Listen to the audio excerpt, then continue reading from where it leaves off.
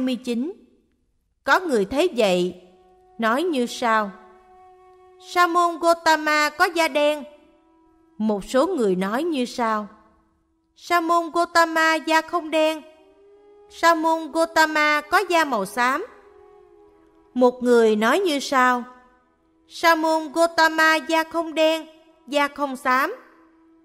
Một số người nói như sau. Sa môn Gotama da không đen, da không xám. Sa môn Gotama có da màu vàng sẫm.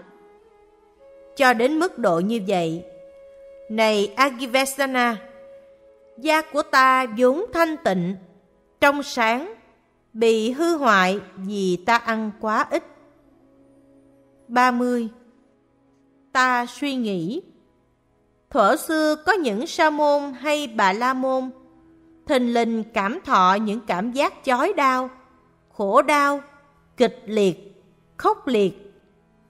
Những sự đau khổ này là tối thượng, không có gì hơn nữa. Về tương lai, có những sa môn hay bà la môn thình lình cảm thọ những cảm giác chói đau, khổ đau, kịch liệt, khốc liệt. Những sự đau khổ này là tối thượng không thể có gì hơn nữa. Trong hiện tại, có những sa môn hay bà la môn thình lình cảm thọ những cảm giác chói đau, khổ đau, kịch liệt, khốc liệt. Những sự đau khổ này là tối thượng, không thể có gì hơn nữa. Nhưng ta với sự khổ hạnh khốc liệt như thế này vẫn không chứng được pháp thượng nhân. Tri kiến thù thắng xứng đáng bậc thánh hay là có đạo lộ nào khác đưa đến giác ngộ? 31. Ta suy nghĩ Ta nhớ trong khi phụ thân ta thuộc dòng thích ca đang cày và ta đang ngồi dưới bóng mát cây diêm phù. Ta ly dục, ly pháp bất thiện, chứng và trú thiền thứ nhất. Một trạng thái hỷ lạc do ly dục sinh, có tầm, có tứ, như vậy, đạo lộ này có thể đưa đến giác ngộ chăng? Tiếp theo ý niệm ấy, ý thức này khởi lên nơi ta. Đây là đạo lộ đưa đến giác ngộ. 32. Ta suy nghĩ Ta có sợ chăng lạc thọ này? Một lạc thọ ly dục, ly pháp bất thiện. Ta suy nghĩ Ta không sợ lạc thọ này một lạc thọ ly dục, ly pháp bất thiện. 33. Ta suy nghĩ, nay thật không dễ gì chứng đạt lạc thọ ấy. Với thân thể ốm yếu kinh khủng như thế này, ta hãy ăn thô thực, ăn cơm và cháo. Rồi ta ăn thô thực, ăn cơm và cháo. Lúc bấy giờ, năm tỳ khưu đang hầu hạ ta suy nghĩ. Khi nào Sa môn Gotama chứng pháp, dì ấy sẽ nói cho chúng ta biết. Khi thấy ta ăn thô thực, ăn cơm và cháo, các dì ấy chán ghét ta, bỏ đi và nói Sa môn Gotama nay sống đầy đủ vật chất, từ bỏ tinh tấn, trở lui về đời sống sung túc. 34.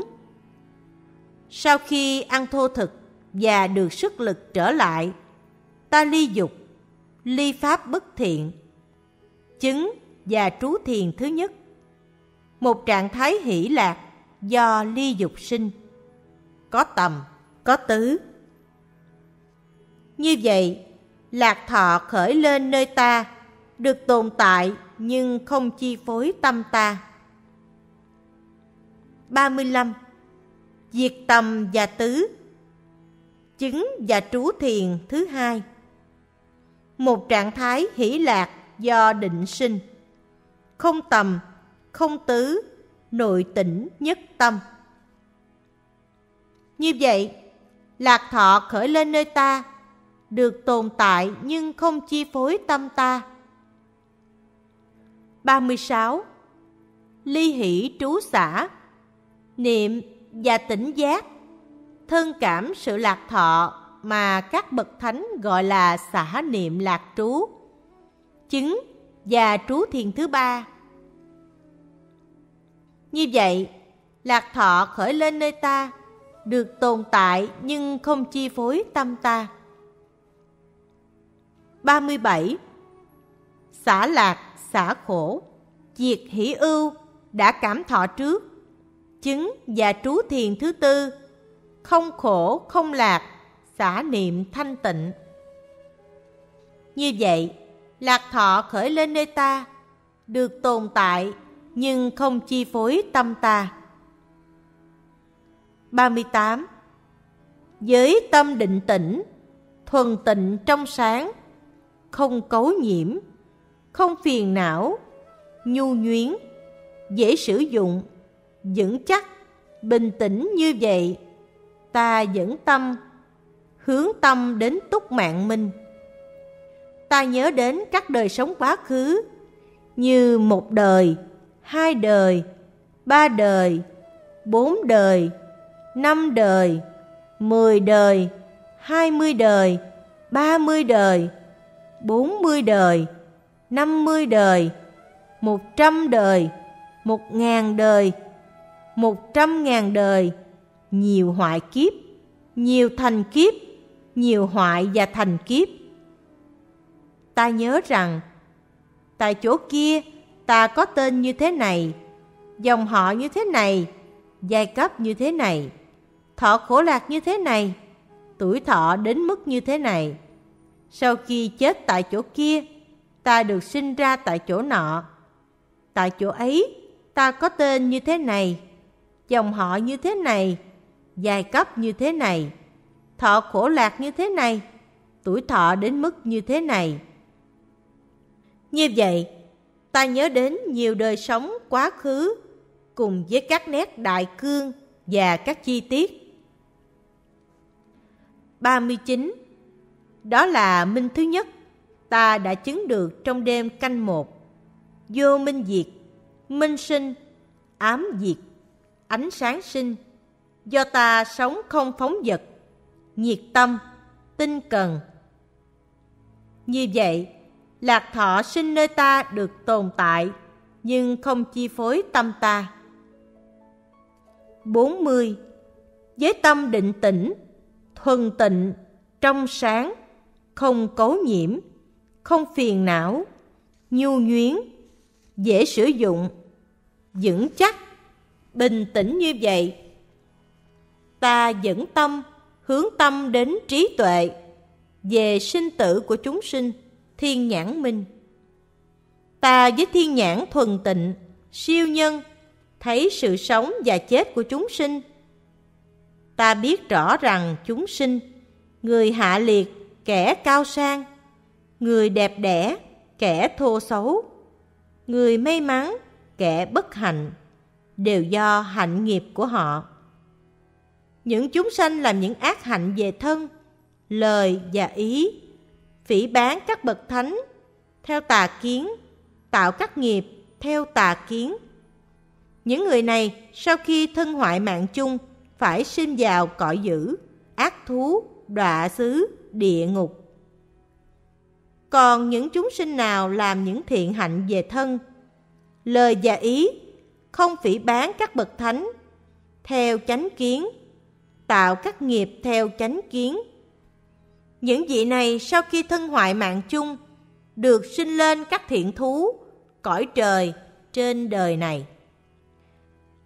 Như vậy, ta với thiên nhãn thuần tịnh, siêu nhân, thấy sự sống chết của chúng sinh ta biết rõ rằng chúng sinh, người hạ liệt, kẻ cao sang, người đẹp đẽ, kẻ thô xấu, người may mắn, kẻ bất hạnh, đều do hạnh nghiệp của họ. 41. Đó là minh thứ hai, ta đã chứng được trong đêm canh giữa, vô minh diệt, minh sinh, ám diệt, ánh sáng sinh, do ta sống không phóng vật nhiệt tâm, tinh cần. Như vậy, lạc thọ sinh nơi ta, được tồn tại nhưng không chi phối tâm ta. 42. Với tâm định tĩnh, thuần tịnh, trong sáng không cấu nhiễm, không phiền não, nhu nhuyến, dễ sử dụng, vững chắc, bình tĩnh như vậy, ta dẫn tâm, hướng tâm đến lậu tận minh. Ta biết như thật, đây là khổ, đây là nguyên nhân của khổ. Đây là sự diệt khổ, đây là con đường đưa đến diệt khổ. Ta biết như thật, đây là những lậu hoặc, đây là nguyên nhân của lậu hoặc. Đây là sự diệt trừ các lậu hoặc. Đây là con đường đưa đến sự diệt trừ các lậu hoặc. 43. Nhờ biết như vậy, nhận thức như vậy, tâm của ta thoát khỏi dục lậu, thoát khỏi hữu lậu, thoát khỏi vô minh lậu. Đối với tự thân đã giải thoát như vậy, ta khởi lên sự hiểu biết, ta đã giải thoát, ta đã biết sinh đã diệt, phạm hạnh đã thành, việc cần làm đã làm. Sau đời hiện tại không có đời sống nào khác nữa.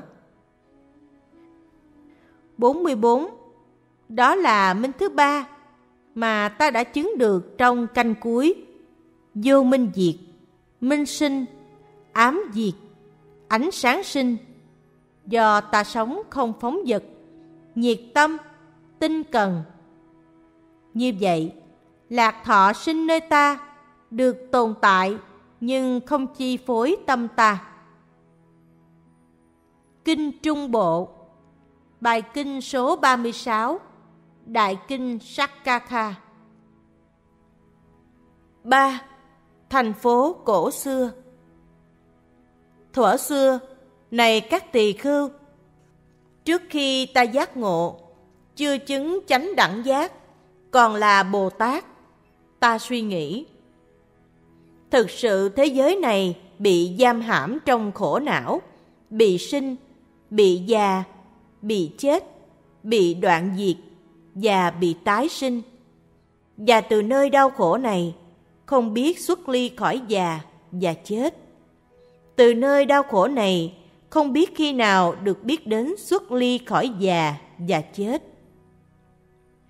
Rồi này các tỳ khưu, ta suy nghĩ, do cái gì có mặt, già chết hiện hữu, do cái gì già chết sinh khởi.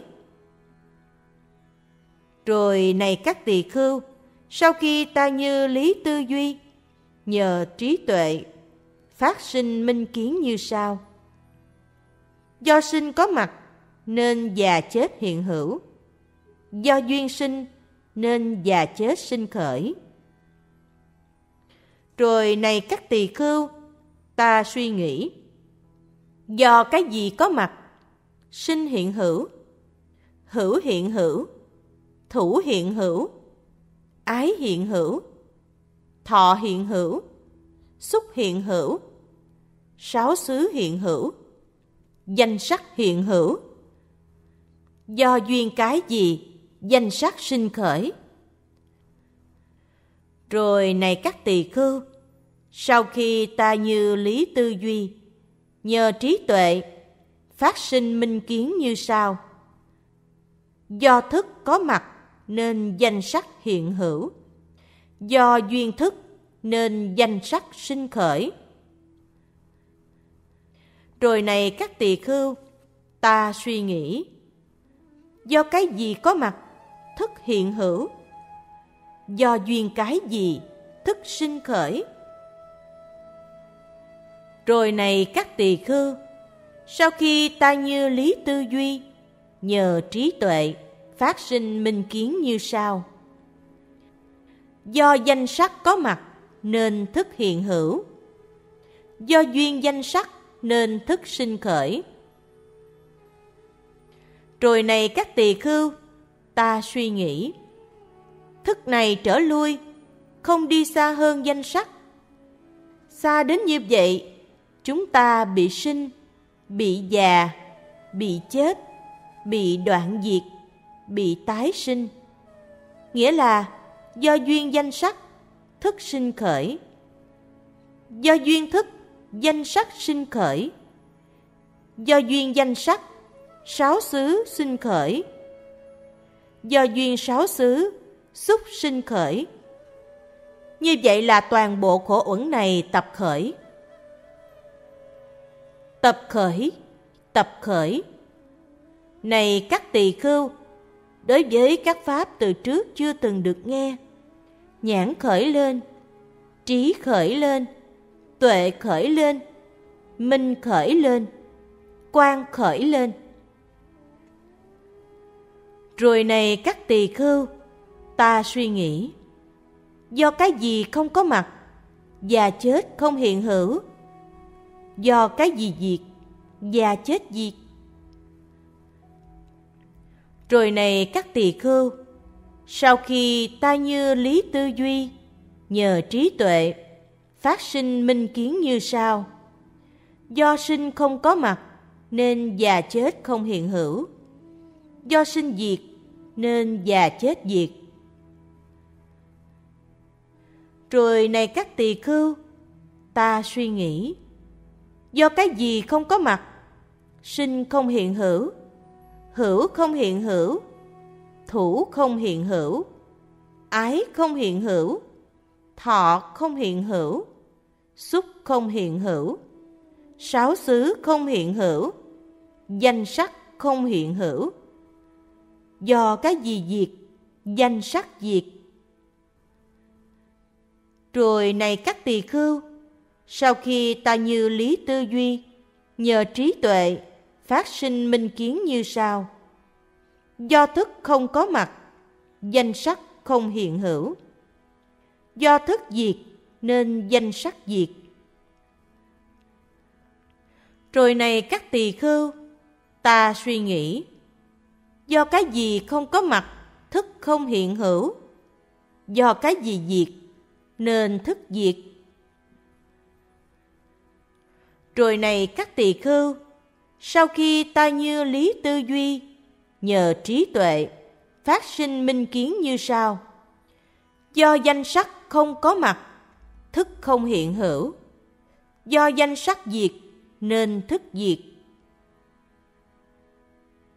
Rồi này các tỳ khưu, ta suy nghĩ, ta đã chứng đắc con đường này đưa đến giác ngộ, tức là do danh sắc diệt nên thức diệt. Do thức diệt nên danh sắc diệt. Do danh sắc diệt nên sáu xứ diệt. Do sáu xứ diệt nên xúc diệt. Như vậy là toàn bộ khổ uẩn này đoạn diệt. Đoạn diệt, đoạn diệt. Này các tỳ khưu, đối với các pháp từ trước, ta chưa từng được nghe, nhãn sinh, trí sinh, tuệ sinh, minh sinh, quan sinh. Ví như, này các tỳ khưu, một người khi đi qua một khu rừng, một chặng núi, thấy được một con đường cũ, một đạo lộ cũ do những người xưa đã từng đi qua. Người ấy đi theo con đường ấy, trong khi đi theo con đường ấy, người ấy thấy được một cổ thành, một cố đô do người xưa ở, với đầy đủ giường tược, đầy đủ rừng cây, đầy đủ hồ ao với thành lũy đẹp đẽ.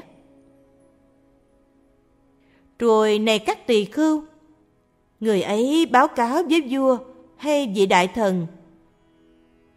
Chư Tôn hãy biết, trong khi đi ngang một khu rừng, một chặng núi, tôi thấy được một con đường cũ, một đạo lộ cũ do những người xưa đã từng đi qua. Tôi đã đi theo con đường ấy và thấy được một cổ thành, một cố đô do người xưa ở, với đầy đủ giường tược, đầy đủ rừng cây, đầy đủ hồ ao, với thành lũy đẹp đẽ.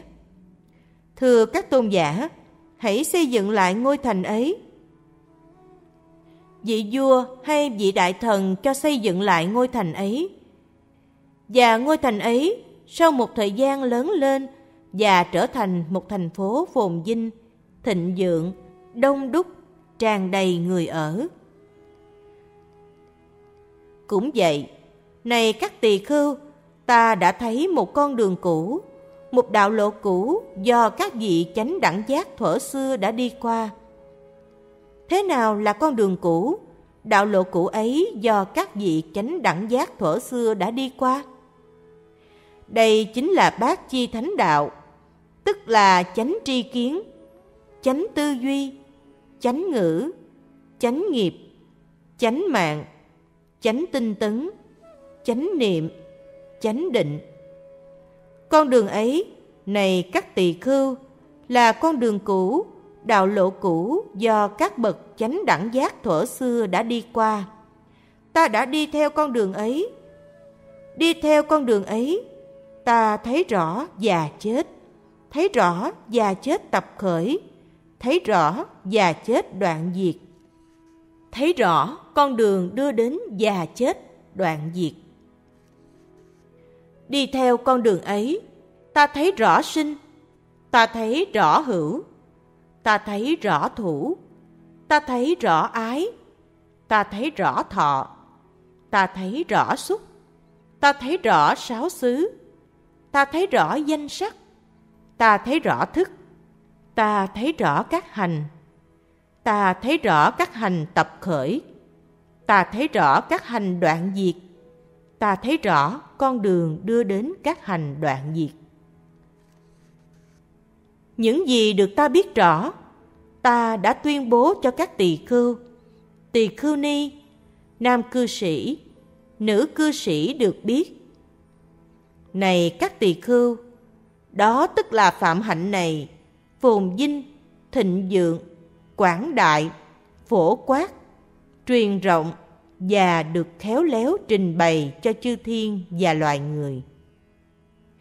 Kinh Tăng Chi Bộ, chương 12, bài kinh số 65